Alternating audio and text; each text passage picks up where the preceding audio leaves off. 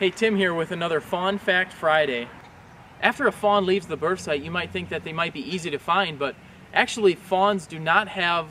a lot of scent. They are naturally odor free. When I was at Auburn doing my grad research, I was capturing fawns and we actually tried to employ dogs that are trained to sniff bombs and certain smells and we tried to get them to smell fawns after we had captured a few and they, they just couldn't find them because the, the amount of odor that a fawn puts out is just so minuscule and they have to get within five feet because where a, where a fawn decides to bed is usually a spot where it's in some grass and their, um, their scent does not disperse